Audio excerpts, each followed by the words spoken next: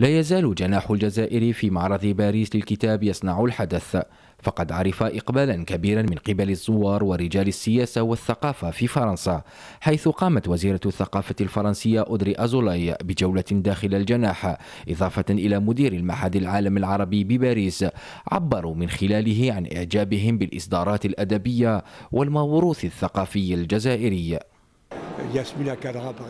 ياسمين خضراء مثلا واحد من الكتاب الكبار. إضافة إلى كمال داود لديه موهبة حقيقية في الكتابة. منذ مدة وأنا مولع بالأدب الجزائري.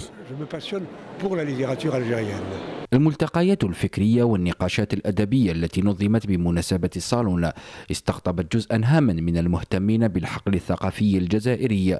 تم من خلالها تبادل الرؤى حول قضايا ثقافية عدة ذات الاهتمام المشترك. اليوم تدريجيا يمكن فعلا أن نحسن الوضع للمثقفين والمبدعين و و والكتاب لأن المستقبل مرهون بالثقافة والتربية والعلم والمعرفة. ونظمت السفارة الجزائرية بباريس حفلا تكريميا للمثقفين الجزائريين من أدباء وممثلين ونقاد سينمائيين خاصة وأن الجزائر تشارك في هذا الصالون بأكثر من 43 ناشرا محترف. آه، هي فرصة يعني سانحة لتعريف أكثر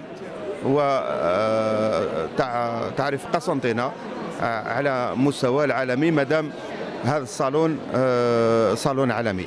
وتستمر النشاطات الثقافية للجناح الجزائري بالصالون إلى غاية نهايته حيث ستعرف الأيام المقبلة عملية بيع بالإهداء لأدباء عدة وملتقيات فكرية مصغرة حول الثقافة الجزائرية بمختلف مكوناتها.